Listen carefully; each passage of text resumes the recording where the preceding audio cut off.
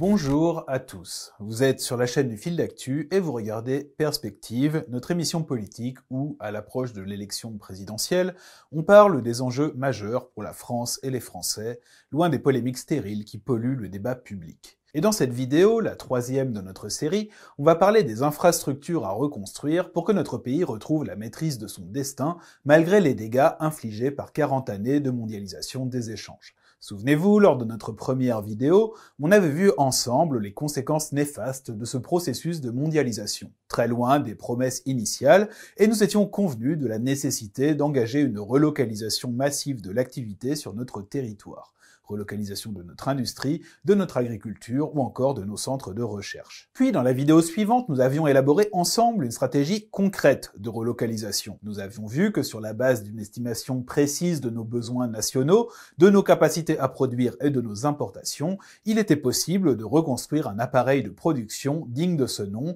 par la mise en place d'un marché intérieur protégé, couplé à un soutien à nos entreprises et à une prise de contrôle par l'État de certains secteurs d'activité dont le marché ne peut visiblement pas assurer le bon fonctionnement.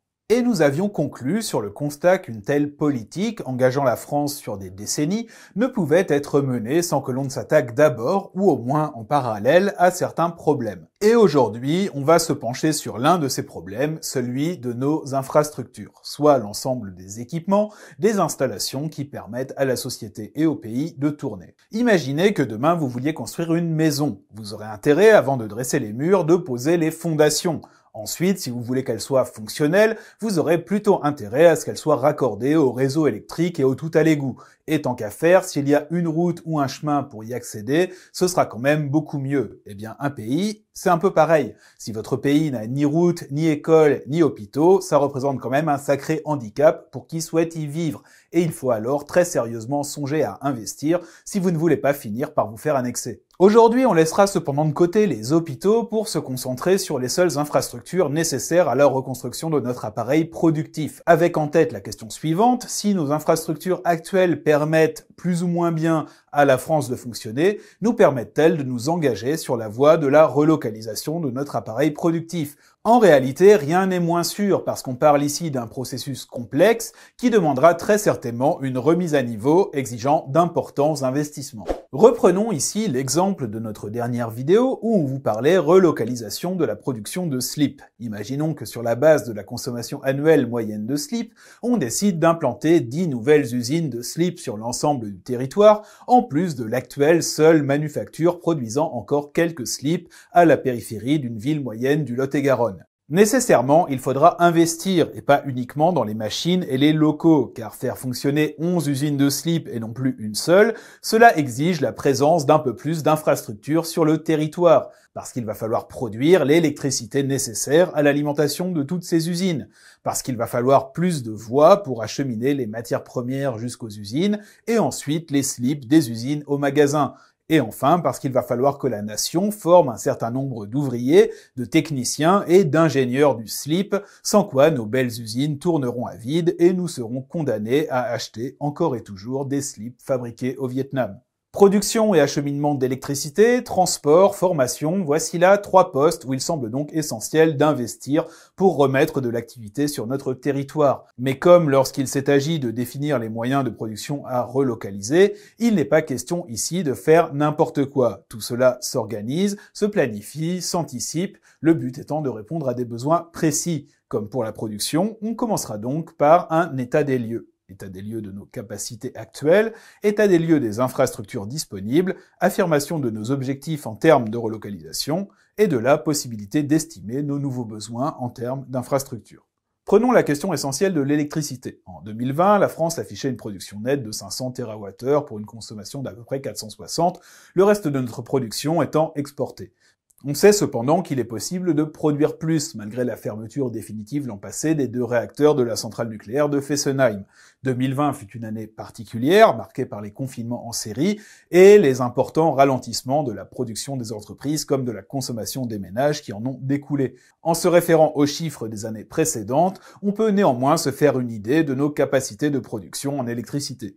Surtout, les ingénieurs d'EDF, eux, connaissent précisément ces capacités, en termes de production annuelle, bien sûr, mais pas uniquement, car l'électricité a cela de particulier qu'il s'agit du seul bien où la demande est supposée déterminer intégralement l'offre, et où l'offre doit répondre intégralement à la demande en temps réel, sans quoi c'est le blackout, la coupure d'électricité générale. Ça va être tout noir Être capable, à toute heure du jour et de la nuit, de répondre aux besoins du pays en électricité, tel sera donc l'objectif de notre nouveau parc de production électrique. Bien sûr, nous n'allons pas ici définir les objectifs chiffrés associés, ce sera encore une fois le rôle des spécialistes et des professionnels du secteur.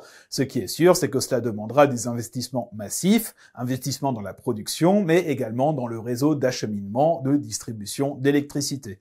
Et là où, pour la production de biens ordinaires, la question de qui, du public ou du privé, doit être à la manœuvre peut se poser, pour l'électricité, en revanche, il est clair que seul l'État, en tant que représentant de la collectivité, est en mesure de jouer ce rôle.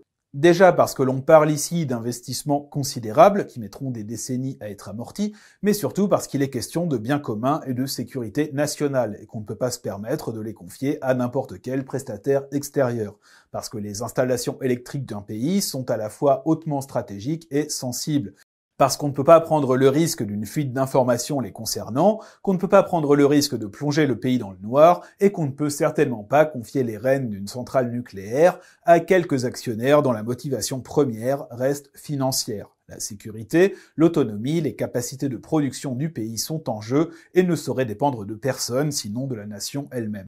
Dès lors, aux citoyens de fixer démocratiquement un cap, des objectifs à atteindre, que ce soit en termes de production pure ou d'impact environnemental. Aux professionnels du secteur de nous dire comment atteindre ces objectifs, avec quels moyens, quelle technologie, quel mix énergétique, et aux politiques de mettre en œuvre les décisions prises. Juste répartition des tâches, aujourd'hui complètement brouillé dans un débat public où trop souvent on demande aux commentateurs d'être experts en tout et aux politiques de trancher des débats scientifiques dont ils ne maîtrisent absolument pas les termes.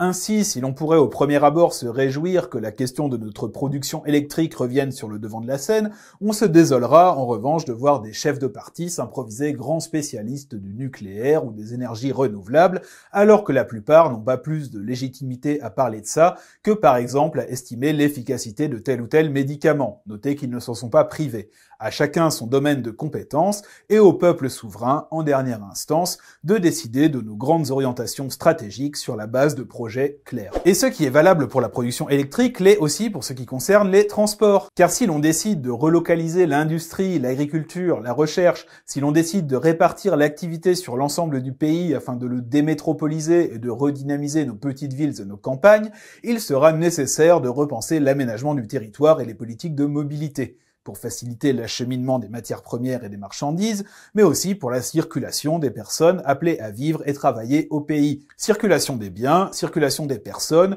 deux enjeux qui impliqueront là aussi l'anticipation et la planification par l'État, puis d'importants investissements fonction des nouveaux besoins. Il sera ainsi sans doute nécessaire de relancer le fret ferroviaire. Ces dix dernières années, le transport routier de marchandises a littéralement explosé en France. Dans certains départements, entre 20 et 30% des véhicules circulant sur les routes sont désormais des camions de marchandises, assurant des liaisons régionales, nationales, voire internationales. Ce développement s'est fait au détriment du train, totalement abandonné par les pouvoirs publics, au point de ne plus représenter aujourd'hui que 9% du transport de marchandises. Le déclin du fret n'est toutefois pas une fatalité. La Suisse, par exemple, transporte aujourd'hui le tiers de ses marchandises sur le rail après avoir réalisé un énorme investissement public dans les infrastructures avec l'adhésion de la population consultés par référendum. Les Suisses ont choisi le train pour limiter la pollution dans leurs montagnes, car le fret émet neuf fois moins de carbone que la route. C'est donc bien un choix écologique qu'ils ont fait il y a maintenant plus de 30 ans. Pourtant, ce mode de transport en France est en chute libre. Il concerne encore 9% de marchandises contre 18% en moyenne en Europe. Un non-sens à l'heure où médias et politiques ne cessent de pointer du doigt ces salauds d'automobilistes qui polluent. D'autant plus que nous comptons d'émettre d'importants importante quantité de dioxyde de carbone, les poids lourds sont source de nombreuses nuisances. Ils encombrent nos routes, nuisent à la tranquillité et à la santé des gens dans les régions qu'ils traversent, provoquent des embouteillages, des accidents ou encore l'usure accélérée des voies. Chaque jour, le même balai incessant Une file de camions traverse la commune de Mousteil et exaspère les habitants. C'est tout le temps en train de se casser, le trottoir on est tout le temps en train de le refaire parce que ça fait que ils font que le casser quoi. Le poids est pas c'est pas une voiture quand ça passe sur le trottoir. Bruit incessant, dangerosité élevée, dommages sur la route, les nuisances causées par les poids lourds sont nombreuses. Et si blâmer les conducteurs n'aurait aucun sens, en revanche, assumer une politique publique visant à remettre massivement les marchandises sur rail, en recréant un réseau ferré digne de ce nom et en créant des emplois dans le ferroviaire, représenterait un grand pas en avant vers une France à la fois plus productive et plus responsable. Cette politique de redéploiement des transports publics, il faudra également la mettre en œuvre pour assurer la circulation des personnes, pour permettre à un maximum de monde de se rendre au travail ou d'ailleurs de trouver du travail sans dépendre de la voiture individuelle, il faut l'avouer, polluante, contraignante et surtout très chère à entretenir et à faire rouler. Train, bus, tramway, en ville mais aussi en zone rurale, les pouvoirs publics auront un rôle à assumer. Mais on peut aussi imaginer, notamment pour desservir les grosses unités de production brassant une population importante, que ces pouvoirs publics imposent le développement de transports d'entreprise. Quant à la voiture en elle-même, s'il semble difficile d'imaginer pouvoir s'en passer partout, il serait au moins possible, là encore, de dicter aux constructeurs de grandes orientations, de manière par exemple à faire baisser les prix ou à favoriser la sortie de notre dépendance au pétrole. Si l'on n'est pas ici à proprement parler sur des questions d'infrastructure, la voiture n'en constitue pas moins, en tant que bien d'équipement indispensable, un enjeu politique majeur sur lequel les marchés ne devraient pas forcément être les seuls à avoir leur mot à dire.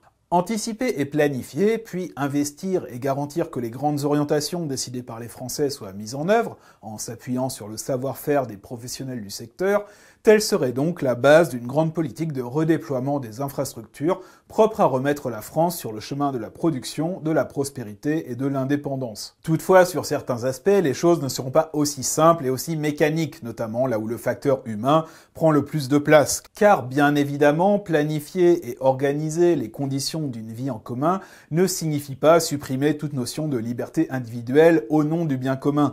Les personnes ne sont pas des données statistiques, des flux que l'on peut déplacer au seul gré des besoins de la collectivité, et il importe d'être tout à fait au clair là-dessus, sauf à transformer nos institutions en monstres bureaucratiques dignes des pires régimes totalitaires. C'est particulièrement évident si l'on évoque une question comme celle de la formation professionnelle. On s'en doute, réindustrialiser, réagriculturer le pays, reconstruire notre recherche et même développer les infrastructures nécessaires à tout cela, cela va correspondre à des millions d'emplois à pourvoir, de l'ouvrier dans l'automobile à l'éleveur, du conducteur de train à l'ingénieur dans le nucléaire. Et si l'on ne veut pas assister à des pénuries massives de main-d'œuvre, il va falloir là aussi que la nation investisse dans la formation formation initiale comme formation tout au long de la vie pour les personnes souhaitant se reconvertir dans les secteurs porteurs.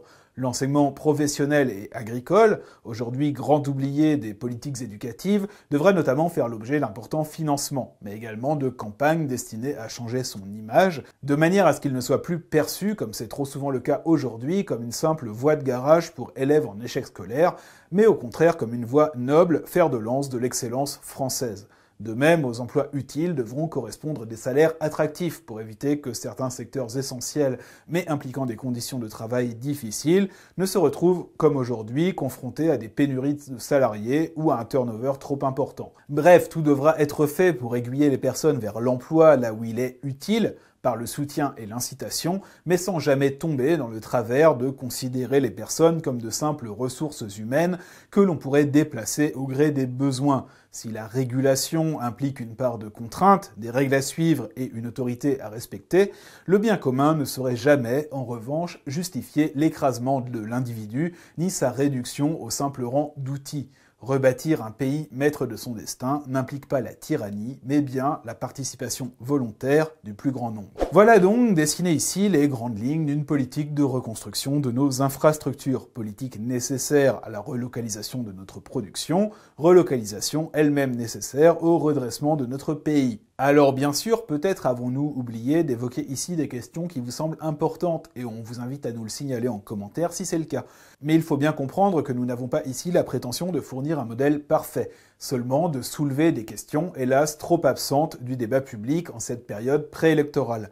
où des grands projets pour la France devraient se discuter, mais où trop souvent c'est le vide qui prédomine, comme si la plupart de nos candidats, déclarés ou non, n'avaient rien d'autre à nous offrir que des mots, une image publique, parfois quelques mesures pas toujours cohérentes entre elles, mais jamais la moindre ambition nationale, toujours sacrifiée à l'ambition personnelle. Et si, à défaut d'y répondre entièrement, cette vidéo a au moins servi à soulever les bonnes questions, ce sera déjà une satisfaction pour nous. Bien sûr, ces questions, nous sommes loin de les avoir encore toutes traitées. À ce stade, il y a même de fortes chances que les enjeux pointés ici n'aient fait que soulever chez vous d'autres questionnements. Comment faire? Comment financer de telles ambitions? De quelle marge de manœuvre disposerions-nous réellement en tant que nation pour réaliser ces transformations? Eh bien, sachez que ces questions sont précisément celles que nous aborderons dans nos deux prochaines émissions de Perspective. Parce que la politique, c'est du sérieux, et qu'à ce titre, elle mérite d'être traitée sérieusement, sans tabou et en allant au fond des choses. D'ici là, on vous invite bien sûr à partager cette vidéo autour de vous, à aller visionner les deux premières de la série si ce n'est pas déjà fait, et à faire connaître à votre entourage le travail que nous cherchons à réaliser avec ces émissions. Ce travail, si vous l'appréciez, si vous pensez qu'il sert le débat public, ou tout simplement si vous voulez soutenir le pluralisme de l'information, on vous invite bien sûr à le soutenir financièrement en vous rendant sur la page Tipeee du fil d'actu, dont vous trouverez le lien en description de la vidéo. Tipeee, c'est la plateforme de financement participatif qui permet aujourd'hui à notre chaîne d'exister grâce au seul soutien de son public. Aujourd'hui, ce sont uniquement les tipeurs, vous, qui nous permettez de faire ce travail, de rémunérer une équipe aujourd'hui élargie, avec un nouveau rédacteur et un nouveau monteur. C'est vous qui nous permettez de rester 100% indépendants. Bref, c'est vous qui êtes les garants de notre liberté. On le sait, on ne l'oublie pas et on vous remercie infiniment pour cela. Et si vous aussi vous voulez devenir tipeur de la chaîne, si vous voulez la financer ne serait-ce qu'à hauteur de 5 euros par mois, on vous invite bien sûr à rejoindre l'aventure. Il vous suffit pour ça de cliquer sur le lien Tipeee sous la vidéo et de vous laisser guider. Pour le reste, si ce n'est pas déjà fait, pensez à vous abonner à la chaîne et à nos autres réseaux sociaux, Twitter, Facebook, Instagram, pour ne pas passer à côté de nos publications. N'hésitez pas non plus à laisser un pouce bleu si l'émission vous a plu, à échanger dans les commentaires et pourquoi pas à développer vos propres réflexions sur les sujets évoqués ici. Ce sera bien sûr un plaisir de vous lire. Et nous, on se retrouve très bientôt pour un nouvel épisode de Perspective.